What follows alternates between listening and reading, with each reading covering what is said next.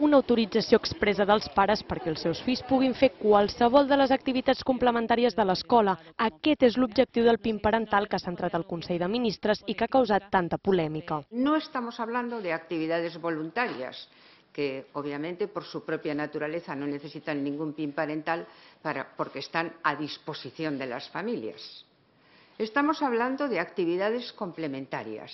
Consentiment per escrit o la possibilitat dels pares a vetar als menors l'accés a activitats sobre violència de gènere, educació sexual o qualsevol altra que considerin. El govern de Pedro Sánchez ja ha requerit a l'executiu murcià que retirin la mesura en considerar que afecta drets fonamentals. Recurrirá por la vía administrativa o judicial cualquier intento del Partido Popular, Vox y Ciudadanos de vulnerar el derecho de los menores el derecho de los alumnos a recibir una educación integral en el respeto de las libertades fonamentales. La ministra d'Igualtat ha demanat compareixer al Congrés i denuncia que aquesta mesura trenca amb el pacte d'estat contra la violència de gènere. Los hijos y las hijas de padres y madres homófobas tienen el mismo derecho que cualquier niño o niña a ser educados en el respeto y la promoción de los derechos humanos, en ser educados a que tienen el derecho de amar a quien quieran. L'executiu també ha volgut traslladar en roda de premsa que les activitats addicionals s'aproven al Consell Escolar,